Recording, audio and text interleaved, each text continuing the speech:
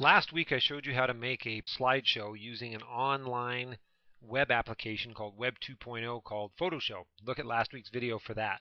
But if you're using Picasa, you can do a similar thing, although not quite as elegant, and you can do it by doing the following. Here I'm in Picasa. I'm going to click and select a few photos. Then I'm going to go up to Create and click Movie.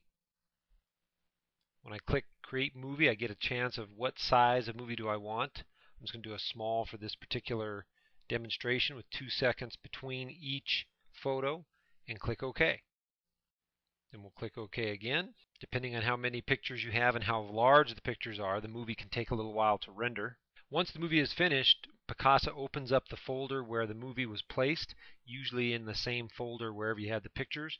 So I'm going to double click on the movie and play it for you.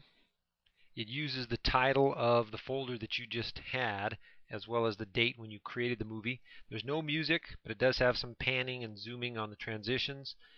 You can pull the movie into Windows Movie Maker or any other movie editor and add your own music and even some more captions and other things, but at least it's uh, something to get you started and yet another hidden feature in Picasa.